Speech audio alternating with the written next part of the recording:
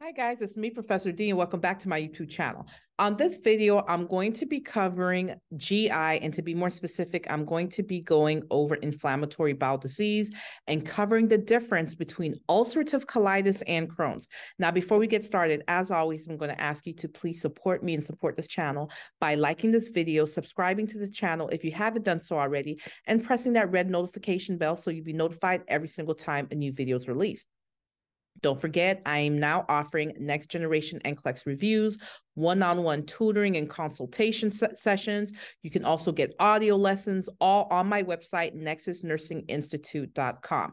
All right, guys, without any further ado, let's get started. Take a look. It says inflammatory bowel disease. This is a chronic inflammatory disorder of the GI tract. It's characterized by uh, remission inter, inter, guys, you know, I can't speak interspersed with periods of exacerbation. So what happens is sometimes the patient will be much better than others. So this is a chronic condition. This is something that's ongoing. There is no cure, but there are times that the patient's going to have exacerbations where it's worse when it's worse and there's much more inflammation of the GI tract and then periods of uh, remission when it's much better and the inflammation isn't as bad.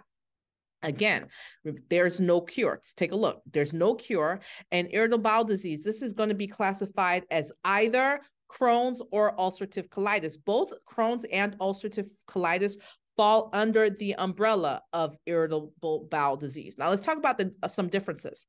When we're talking about ulcerative colitis, you need to understand that that inflammation, the problem that's happening, is usually limited to the colon. So when you think of ulcerative colitis, I want you to think of the colon, okay? Crohn's disease, that can involve any segment of the GI tract going from the mouth to um, the anus. Many people with irritable, irritable bowel disease, remember IBD is both Crohn's or ulcerative colitis. Many people with IBD have family members with this disorder. Etiology and patho, it says auto uh, IBD is an autoimmune disease. Let's stop right there. What does that mean when it says it's autoimmune? The body's attacking itself. The problem's coming from within. Okay. IBD is an autoimmune disease involving an immune reaction. By the way, that immune reaction we're talking about is that inflammation. It involves an immune reaction to a person's own intestinal tract. And that's why it's autoimmune. The body's doing this to itself. So, some agent or a combination of agents will trigger an overreactive, inappropriate immune response. What does this result in? Inflammation. This is the problem in both of this, these disorders inflammation that causes tissue destruction. Let's look at vi- environmental factors. Environmental factors diet, exposure to air pollution, stress, smoking, all of these um, can change the environment of the bowel and um, the um, normal flora, and it can uh, be a trigger for the inflammatory reaction that's happening in IBD. Look over here, it says high dietary intake of total fats, polyunsaturated fatty acid, omega omega 6 fatty acids, and meat is associated with increased risk of IBD. Professor D, do I have to know these risk factors? Absolutely. High fiber and fruit intake is associated with decreased risk of Crohn's, where high vegetable intake is associated with decreased risk of ulcerative colitis. And guys, that kind of makes sense because fruits, vegetables are high in what? fiber. So all of that crap that's sitting on the inner lining of the GI tract is causing this inflammatory reaction. When fiber is there, what does fiber do? It pulls all that crap out. So when the patient has a bowel movement, it comes out in the stool. So it makes sense that it will decrease the risk factors. Let's keep going. Oral contraceptives and NSAIDs make Crohn's worse. You need to know that. Genetic link Irritable bowel disease occurs more frequently in family members of people with irritable bowel disease. This is the second time we're seeing this. So don't you think that's important? The um, author of this text is not letting you know that um, people with genetic links are at high risk. They're not saying the same thing two, three times just for their health. They're saying it because most likely you're going to see it as a test question. That's important to know. Now, let's go over the pattern of inflammation.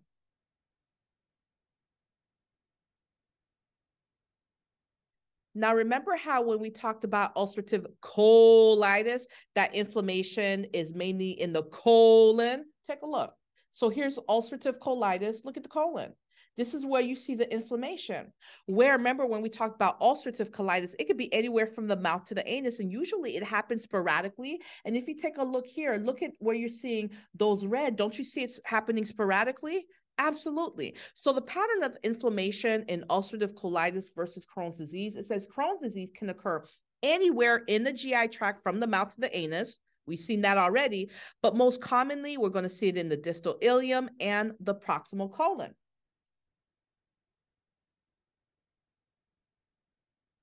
Segments of normal bowel can occur between diseased portions, and those are what's known as your skip lesions.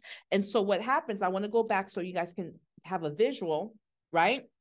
Inflammation normal, inflammation normal, inflammation normal, inflammation normal. So, that's what's known as the skip lesions because they'll skip certain parts. The inflammation in Crohn's disease involves all layers of the bowel. That's important for you to know. So, in Crohn's disease, not only can it happen anywhere in the GI tract, you have inflammation normal, inflammation normal, inflammation normal. When it comes to the layers, it can happen in all layers. Let's keep going. In active Crohn's disease, fistulas are common. Where? Again, in all layers ulcerative colitis remember colitis where it's main that inflammation is mainly in the colon? And ulcerative colitis it usually starts in the rectum and it moves in a continual fashion towards the cecum. Ulcerative colitis is a disease of the colon and rectum. As you can see here guys the colon rectum the inflammation and ulcerations occur in the mucosal layer, the innermost layer of the bowel. Let's stop right there. There's another big difference. When we were talking about ulcerative colitis, there were skip lesions because you'd had inflammation normal, inflammation normal, inflammation normal. Not only that, it was happening everywhere or has the potential to happen everywhere from the mouth to the anus. And on top of that, that inflammation would be in all layers. But when we talk about ulcerative colitis, where that inflammation is in the colon, in the rectum, look at what it says. It says the inflammation does not extend through all bowel layers. But in Crohn's disease, it does. So we're already seeing a whole bunch of difference differences between our Crohn's and our ulcerative colitis. Let's keep going. Clinical manifestations. It says, although the manifestations of Crohn's disease and ulcerative colitis are similar, they both have diarrhea. By the way, guys, we're going to be concerned about what? Fluid electrolytes. Base comes out the butt. What else are we concerned about when it comes to diarrhea? Dehydration. What else do they have in common? Weight loss, abdominal pain, fever, fatigue. There are lots of similarities, but there are also many differences that you have to know as well. If the small intestine's involved, weight loss occurs from inflammation of the small intestines, causing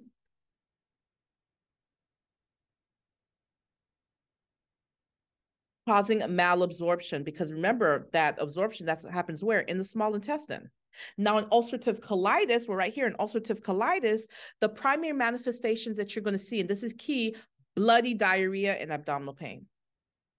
Before we get to the complications, I want to go back to the clinical manifestations and just kind of have a compare and contrast.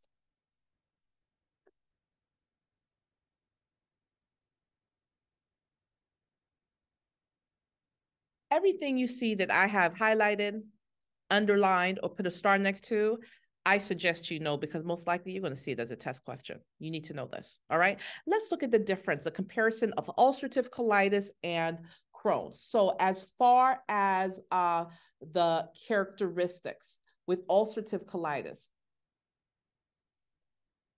um, this is uh, rare as far as the weight loss. You really won't see weight loss as much as you'll see in Crohn's pathologically, location. When it comes to ulcerative colitis, remember it's ascending, it travels up. Usually starts at the rectum and it'll travel up to the colon. Remember, ulcerative colitis will go up to the colon. It spreads in a, look at this, continuous pattern.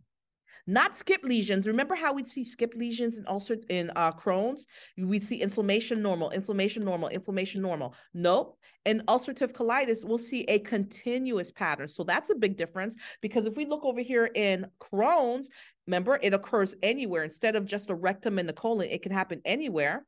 The most uh, frequent site is the distal ileum, and healthy tissue is interpers inters no, I can't pronounce, interspersed with areas of inflammation. So be in, inflammation normal, inflammation normal, inflammation normal. That is what's known as your skip lesions. When you see skip lesions, I want you to think of Crohn's disease.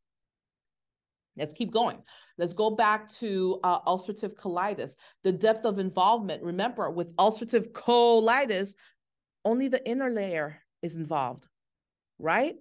But when we take a look at Crohn's, all the layers are affected. That is a huge difference that you have to be aware of. So I suggest you take a minute and just pause and look at all of the differences, not only what I highlight and underline, because I don't write your exams, but look at everything so you can have a good idea of the differences between ulcerative colitis and Crohn's. But again, what I put a star next to highlighted or underlined, those are the most important differences that, you know, you'd be questioned most often on exams.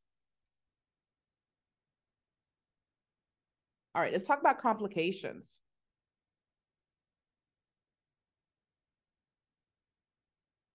It says GI tract complications include hemorrhage, strictures, perforation with possible peritonitis. By the way, this medical emergency, abscesses, fistulas, uh, CDI, colonic dilation, your toxic megacolon. Patients with toxic megacolon are at risk for perforation. Again, perforation is a medical emergency. That patient has perforation. If they don't get to um, OR and get surgery soon, it's not a question of if, it's when. They absolutely will die. Why? Because you have fecal matter in what's supposed to be um, a sterile environment. So perforation is one of the biggest concerns as far as complications, okay? So anyway, patients with toxic megacolon are at risk for perforation and they may need emergency colectomy. Toxic megacolon, we see this more often with ulcerative colitis. Perineal abscess and fistulas occur up to a third of patients that have Crohn's. Uh, CDI increases in uh, frequency and, and severity of patients that have both, which is your irritable bowel disease. If the patient is bleed, if the patient's bleeding out, we're going to be concerned about anemia because obviously, if they're bleeding out, what's down? Hemo, um, hematocrit, hemoglobin, RBCs. Let's keep going. Patients with a history of IBD have increased risk for colon cancer. This is huge. NCLEX asks about this often, or they have asked about this often. I don't know about this new NCLEX, we'll see, but you definitely need to know the patients that have history of IBD are going to be at increased risk for colon cancer. Those with Crohn's disease are at increased risk for small intestinal cancer. Cancer screening at regular intervals is important in persons with irritable bowel disorder. Let's look at interprofessional care. More specifically, I'm going down to management high calorie. Why? You need energy to fight infection, high vitamin, high protein. Remember, protein is not only good for muscles, it's also good for what? Fighting infection, wound healing, high protein, low residue, lactose free if the patient's lactose intolerant diet. Drug therapy, aminosalicylates, antimicrobial, corticosteroids, corticosteroids, and um, what's the other drug class? Immunosuppressants. Those are huge in this kind of disorder because of the inflammation that's happening. All right. Physical and emotional rest. You want to teach that patient to stay away from stressful environments and stressful people. Again, if you take a look at this box, that goes over drug therapy. Again, your aminosalicylates, antimicrobials, corticosteroids, immunosuppressants, and biological targeted therapy. Why do you think we just saw this in a table and now we're seeing in another table on the very next page? Because it's important to know. You need to know the type of treatment that's available for um, IBD. Medications containing 5-aminosalicylic acid remains a mainstay. That means your cornerstone in achieving and maintaining remission and preventing flare ups. So that is going to be the cornerstone medications for IBD. Okay. your aminosalicylate aminosalicic acid. They include, here are the drugs, sulfasalazine, sulfa-free drugs, aminosalicylates are more effective for ulcerative colitis. Many people cannot tolerate the side effects of sulfasalazine. Headaches, nausea, fatigue occur at higher doses. In men, long-term sulfasalazine treatment may cause abnormal sperm production. You have to warn them about this, leading to infertility. These effects are reversible if sulfasalazine is discontinued. So important things to know about sulfasalazine is that can cause yellowish discoloration of the skin and urine and avoid exposure to sunlight and UV light until photosensitivity has been determined. Again, what other medications do you expect the patient to be um, on? Corticosteroids.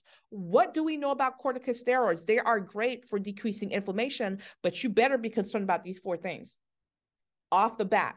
Corticosteroids, you're going to be concerned about stomach ulcers because they're very hard on the stomach. Patient needs to take it with food. You're going to be concerned about osteoporosis because they tend to make the bones porous. So you're going to be concerned about fractures. You're going to be concerned about infection because remember, it decreases inflammation, masks those signs and symptoms of infection. So you better be looking at the temperature. You better be looking at the WBCs. You better be looking for signs and symptoms of infection much, much more closely. And the fourth thing you need to be concerned about is hyperglycemia. If we know anything about steroids, we know that increases the patient's blood sugar. So imagine a patient who has to take this medication, but they're diabetic. You better be taking their glucose much more often. Immunosuppressive agents. Let's talk about methotrexate, which is a type of immunosuppressive agent. Okay. Methotrexate is most useful in patients with Crohn's disease who cannot stop corticosteroid use without a flare up or in whom other medications have not been effective. So the methotrexate guys, that is not our first choice. But if we have a patient that has Crohn's, they you know, the minute they stop the steroid, they have a flare up or they just can't take any of the other medications, this is a good option for them. You're going to advise women of childbearing age to avoid pregnancy because this medication can cause birth defects and even fetal death. Currently, there are six biological and target uh, medications. Four are anti-tumor necrosis factor agents, and they give you the list of meds. You guys can take a look at them. I'm not even going to try to pronounce them. You see them. Hold on. Let me focus on it for you. All right.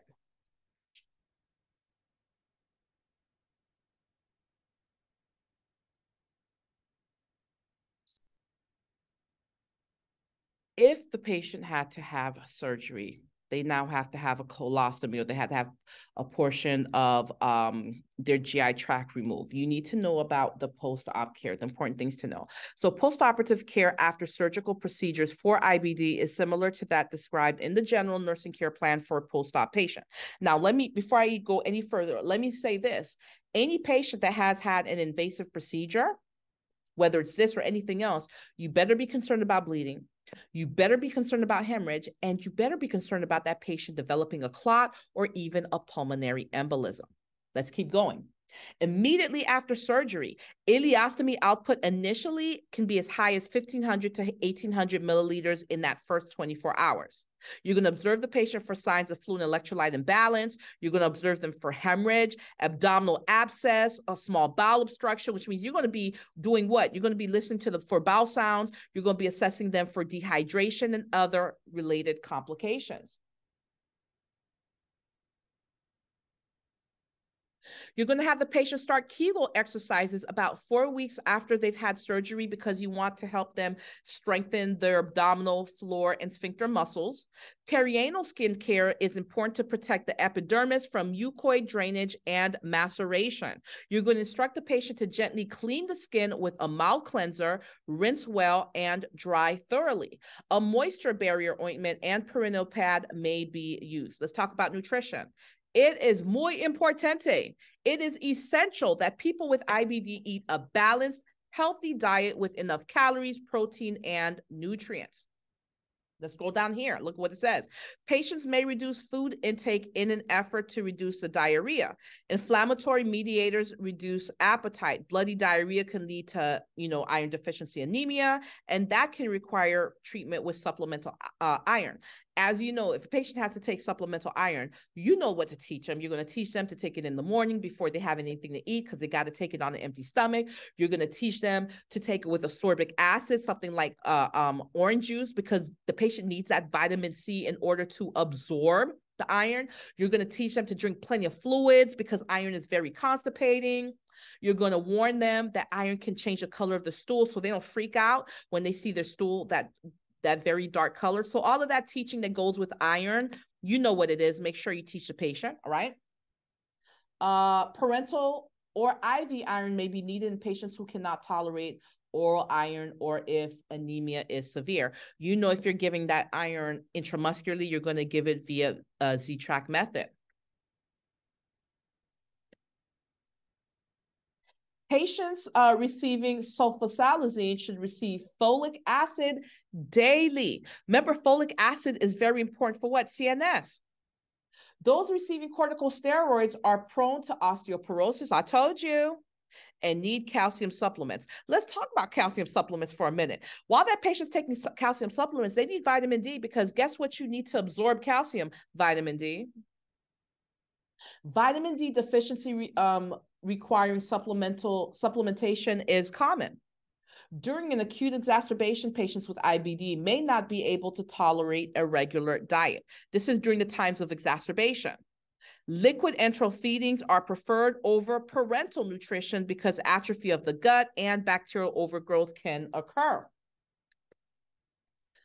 Enteral, guys, make sure you know the difference, please, between parental and enteral, okay? So if something is parental, it's bypassing the GI tract, something like IV. If something is enteral, it's going via the GI tract. So anyway, enteral nutrition is high in calories and nutrients, lactose free, and it's easily absorbed.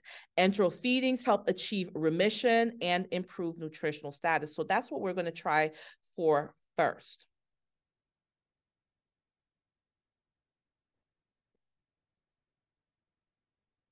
We're right here. Because many patients with IBD are lactose intolerant, avoiding milk and milk products going to improve the symptoms. Lactose intolerant patients excuse me, they can use yogurt as a substitute. Now I have this highlighted in different colors. This is important to note. High fat foods, cold foods, high fiber foods such as cereal with bran um, nuts, raw fruits with peels may all trigger diarrhea. So be very careful with that. Again, high fat foods, cold foods, high, high fiber foods such as cereal with bran, nuts, raw fruits, and peels. All can trigger diarrhea. More nursing interventions.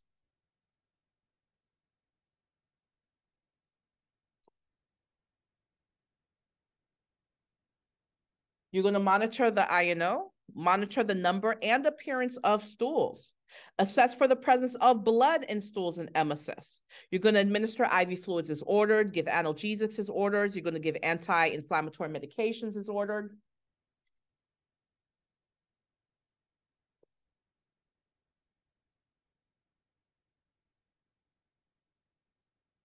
You're going to monitor serum and electrolytes because remember they're going to lose serum and electrolytes through that stool, the CBC. You want to make sure the patient does not they're not become anemic. You're going to be looking at the vital signs. You want to make sure you do not see blood pressure go down heart rate go up, breathing go up, urine output go down. Those are signs and symptoms of what? Hemorrhaging. That patient may be bleeding out somewhere. So you better be paying attention to not only the vital signs, but you need to be able to track it. What's going up, what's going down. You're going to teach a patient to change position slowly, use safety precautions until the diarrhea is controlled. You need to help that patient stay clean, dry, and free of odor. Dibucaine, witch hazel, sitz baths, and other soothing compress, compresses or ointments may reduce irritation and discomfort of the anus in the area. Um, you're going to do daily weights. let me tell you why daily weights is important. The number one way that you can measure fluid status, how much fluid the patient's losing, is daily weights. It's not skin turgor. It's not I&O. It's daily weights. You're going to have the you're going to weigh the patient daily in the morning before they eat. Same type of clothes, same type of scale. Okay. Um, IBD is a chronic illness. You're going to assist the patient in accepting the chronicity of IBD and learning strategies to cope. You're going to teach them the importance of rest and diet perianal care, the drug action and side effects to watch out for, and adverse uh, um, uh, reactions to report, the symptoms of recurrence of the disease, when to seek medical care, ways to reduce stress. They have to stay away from stressful environments and stressful people. What else is important? They need to stop smoking. Smoking is a trigger okay and it it causes severity of the disorder you need to teach them the importance of rest